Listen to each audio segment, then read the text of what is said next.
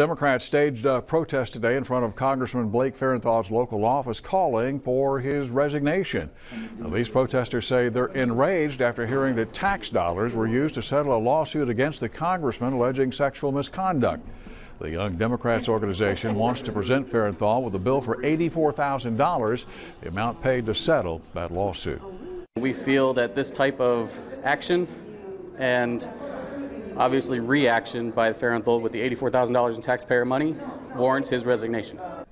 Uh, Congressman's office released a statement today that says the people involved in that protest didn't have their facts straight.